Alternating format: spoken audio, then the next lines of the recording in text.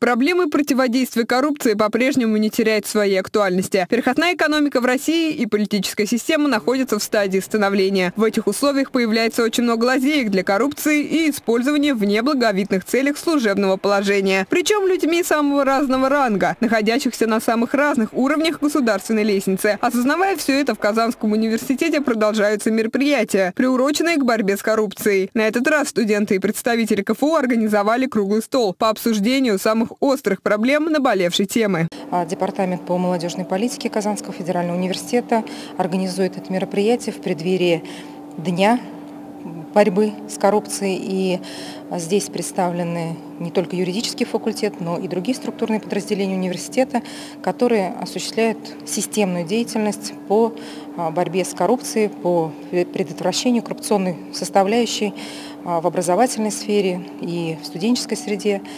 Участники круглого стола отметили, насколько необходимо добиться неприятия обществом этого явления. Была обсуждена и воспитательная работа, и улучшение деятельности правоохранительных органов, и создание такой нормативно-правовой базы, которая бы минимизировала возможности коррупционных явлений. Все это многоплановая работа, чувствительная и непростая. По всем этим направлениям университетское сообщество продолжает активную деятельность. Адель Шамилова, Роман Самарин, Универньюз.